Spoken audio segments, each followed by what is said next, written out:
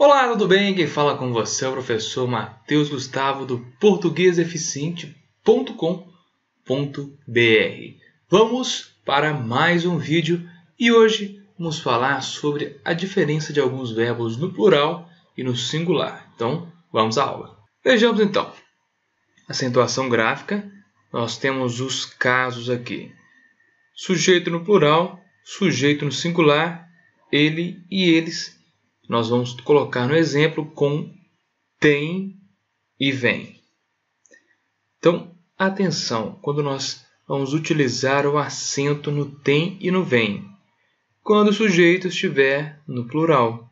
Então, lembre-se, os meninos têm estudado bastante. Qual que é o sujeito desta frase? Quem tem estudado bastante? Os meninos. Os meninos estão aí no plural. Então, quando temos o plural, coloque aí o acento. Plural, coloque o acento. Agora, o sujeito no singular. Ele. O menino tem estudado bastante. Então, singular. Macete rápido. O menino tem estudado bastante. Ele está tão sozinho que não ganhará assento. Não tem companhia, não tem acento. O menino tem estudado bastante sem acento.